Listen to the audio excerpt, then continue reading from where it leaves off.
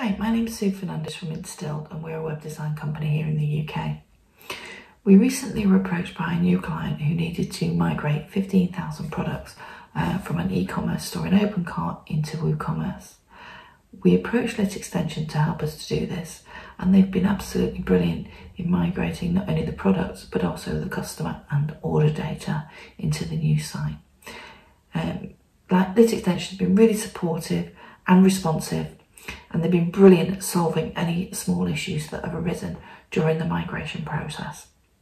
We wouldn't hesitate to recommend LitExtension, not only for great service but also for the great price. Thanks. Thank you for watching our video. Don't forget to subscribe to our channel and give us a thumbs up if this is helpful to you. See you next time!